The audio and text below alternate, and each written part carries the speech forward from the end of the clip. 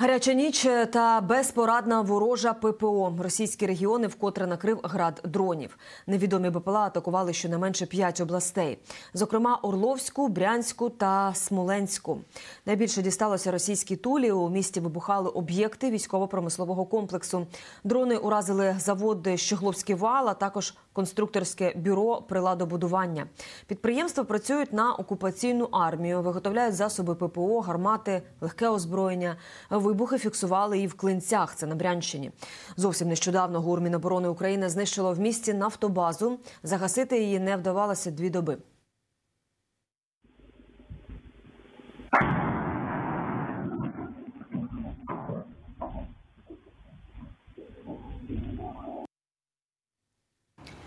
Найгарячіше було у Ленінградській області. У порту селища Усть-Луга злетів у небо газовий термінал компанії Новатек.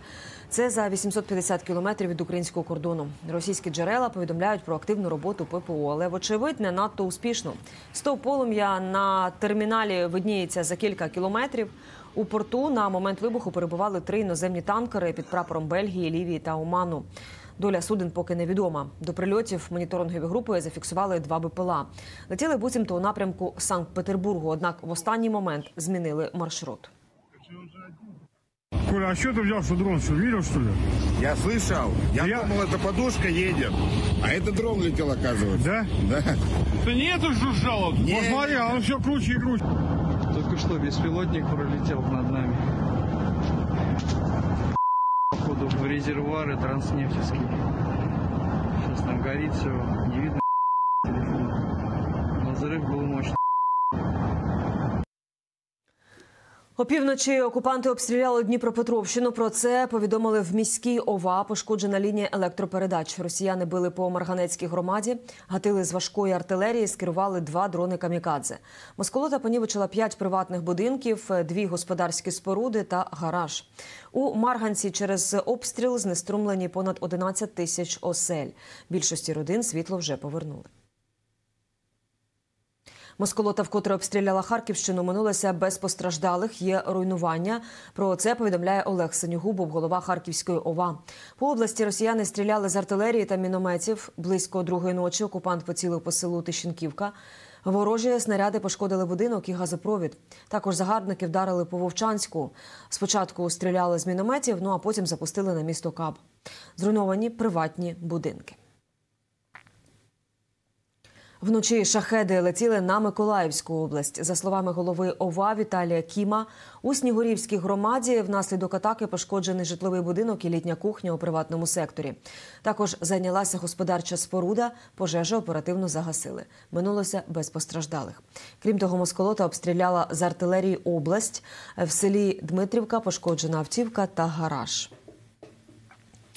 На фронті ж відбулося 80 боїв за минулу добу. Найбільше окупанти штурмували на Куп'янському напрямку. Про це повідомляють в ранковому зведенні Генерального штабу. ЗСУ відбили більше двох десятків ворожих атак біля Синьківки, Петропавлівки, Харківської області та Стельмахівки Луганської. Також ворог атакував біля Серебрянського лісництва. Успіху не мав. Невдалим виявився російський наступ і на Бахмутському напрямку, де наші захисники відбили вісім атак поблизу Богданівки, Кліщіївки та Андріївки. Москолота не полишає спроб захопити Авдіївку. Біля міста Сили оборони відбили з десяток штурмів. Шість потуг росіян придушили на Мар'їнському напрямку і стільки ж на Херсонському. Також загарбникам не вдалося просунутися біля Вербового Запорізької області. Напередодні ЗСУ ліквідували 760 окупантів. Про це пише Генеральний штаб. Загальні втрати армії ворога від початку вторгнення вже перевищують 376 тисяч осіб. За минулу добу росіяни втратили 10 танків, е, спопилили ЗСУ 11 бойових броньованих машин ворога. У Москолоти поменшало артсистем на 7 одиниць. Одна реактивна система залпового вогню більше ніколи не працюватиме на користь окупантам. Слабшою стала і протиповітряна оборона ворога. Ми знищили один засіб ППО. Двоє безпілотників не долетіли до своїх цілей. Росіяни також втратили 14 одиниць автотехніки і 3 одиниці спеціальної техніки. Чи є у вас план, містере Трамп? Напевно, що є. І Відсутність прозорості цього плану напружує президента України про нове звернення Володимира Зеленського до екс-президента е, США і про звернення чинного президента США до американців, про ризики літнього наступу на Київ та Харків і про підготовку киян до бойових дій. Дивіться у матеріалі Олексія Пасака.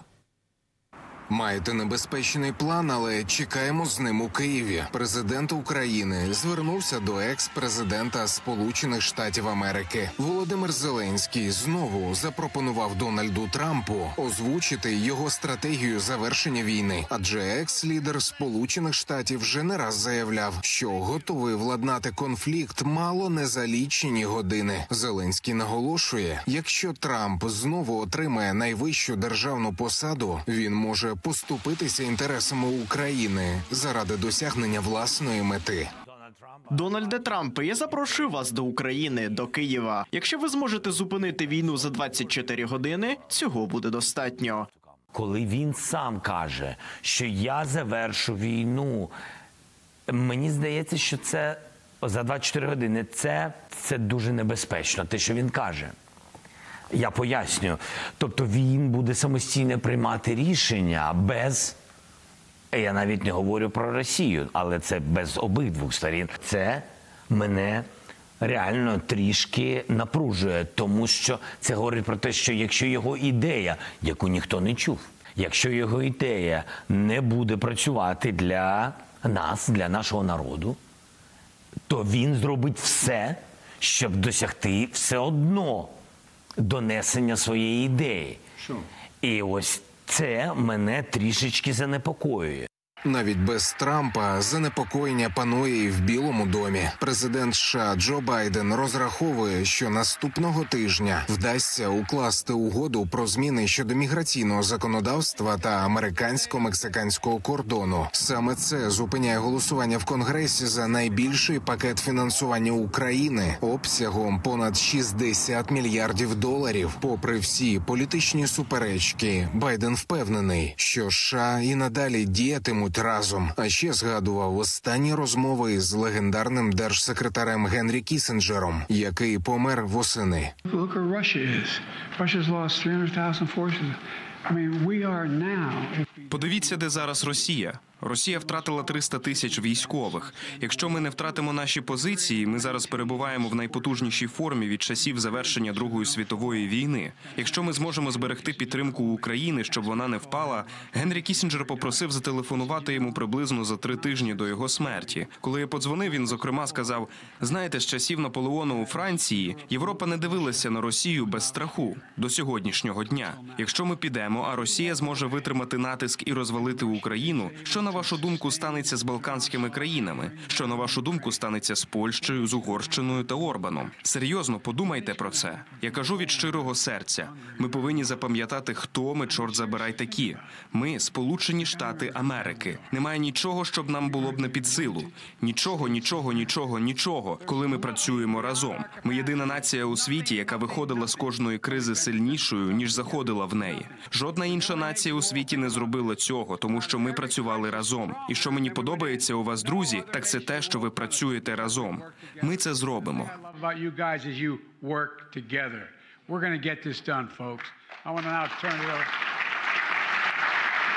А чи зможе Москва втілити свої плани? Відчутне занепокоєння з'явилося напередодні у багатьох українців. Видання Financial Times, посилаючись на українських чиновників, заявило, що Росія не полишила мету повністю окупувати Донеччину та Луганщину, а також Запоріжжя та Херсонщину. А ще окупанти мало не влітку можуть знову ризикнути з новим наступом на міста мільйонники Київ та Харків Наскільки можливий такий сценарій? Про це п'ятому каналу говорили військові експерти. Наголошують для відновлення потенціалу, накопичення техніки та боєприпасів Росії потрібно від 5 до 7 років. В ближайшее время не будет наступления ни на Киев, м, ни на Харьков. Для подготовки м, личного состава, допустим, э, для движения на Киев или на Харьков, россияне должны э, собрать 150-тысячную группировку.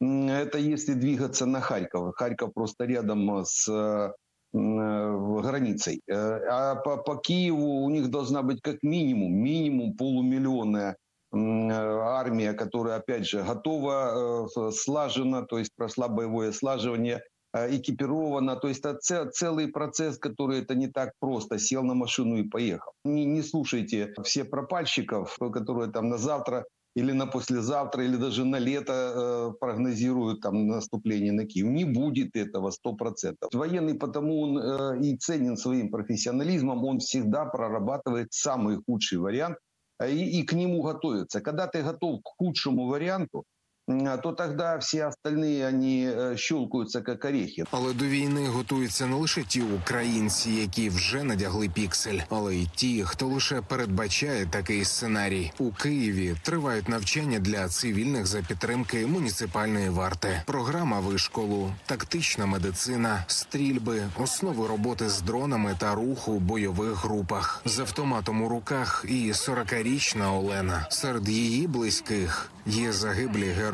Її брат нині на найгарячішій ділянці Донеччини. Війна завжди поруч, навіть якщо в твоєму місті не чути ворожих танків. У нас в державі війна, це дуже тяжко. Я втратила кума свого на війні. У мене батько воював, зараз йому 61 рік, то він вже комісований. А так, в мене рідний брат під Бахмутом воює. Ну, можна сказати, у нас сім'я воєнних почалась з початку повномасштабної війни.